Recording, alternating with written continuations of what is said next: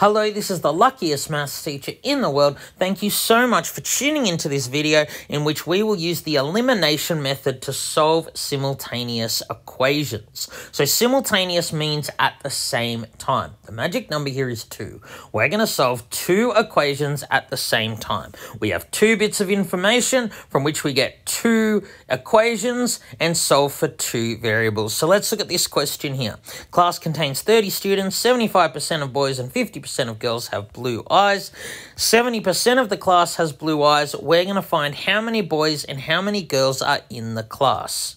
So we start off by defining two variables. Let x equal one of the things you want to find and y the other thing you want to find. Here I want to find number of boys, number of girls. So now we're going to get two equations from the two bits of information. The first information tells us the class has 30 students, so number of boys plus number of girls is 30. The second bit of information tells us that 75% of boys plus 50% of girls is 70% of the class, so 70% of 30 is 21.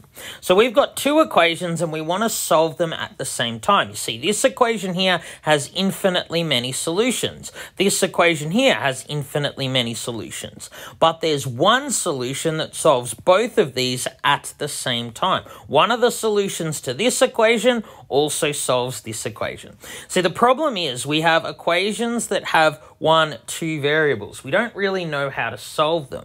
So our process here is to eliminate, that's what's called the elimination method. We get rid of one of the variables, so we have one equation and one variable. So which variable do you eliminate? Well, you eliminate the variable that has the same coefficient in both equations. Now, in this set of equations, neither variable has the same coefficient. So what we're going to do is multiply one or both of the equations so they do have the same coefficient. So if I multiply this bottom equation by 2 and leave the top one unchanged, I need to multiply everything by 2. So I multiply 0.75x by 2, 0.5y by 2, and 21 by 2. Now, in this equation and this equation, the y's have the same coefficient. I can eliminate the y's by subtracting the bottom equation from the top. So x minus 1.5x gives me negative 0.5x y minus y is 0. The y is eliminated. That's why I did it. And I get 30 minus 42 is equal to negative 12. So solving this equation by dividing by negative 0.5, I get x equals 24. So I found out that there are 24 boys and there must be six girls. So then I'm done. All right, let's look at a slightly harder example. So let's try this question here. Certain two-digit number is four times the sum of its digits. If I add 27 to the number, the digits are reversed. What is the number? So this one's a bit difficult because it's not easy to see. We're not actually finding the number per se. We're finding each of its digits. So the first step is always to define your variables. So after defining my variables, I need to find two pieces of information from which I can get two equations. Now note that any two-digit number can be written as 10 times the first digit plus the second digit. Like 93 is 10 times 9 plus 3. 74 is 10 times 7 plus 4. So the two digit number is equal to 4 times the sum of its digits. That's the first equation.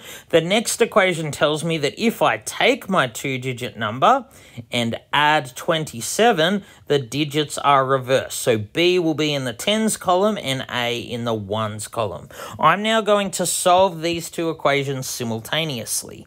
So let's make the equations a little easier to work with. So if I expand the brackets, I get 4a plus 4b, and if I subtract them, I get 6a minus 3b is equal to 0. And here, I want all the a's and b's on one side. I get 9a minus 9b equals negative 27. So once again, two equations with two unknowns a and b. Each of these equations has infinitely many solutions. I'm going to find the solution that solves both of them at the same time. So I need either A or B to have the same coefficient. Since they don't, I need to multiply one or both equations. So if I multiply this top equation by 3 and the bottom equation by 2, then the A's will both have the same coefficient. So multiplying the top equation by 3, I need to multiply everything in the equation by 3. Similarly, for the second one, I multiply everything by 2.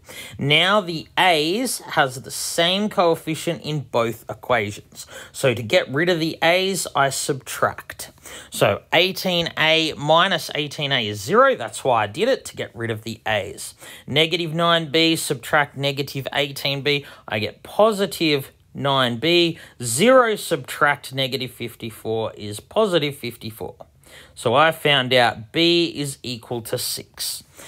Now, to find what a equals, very simply, I just substitute b equals 6 into any of these four equations will do. You should get a equals 3. So therefore, the number is 36, and you can check that 36 satisfies the two pieces of information in the question. All right, thank you so much for tuning into this video. This has been the luckiest maths teacher in the world. Have a great day.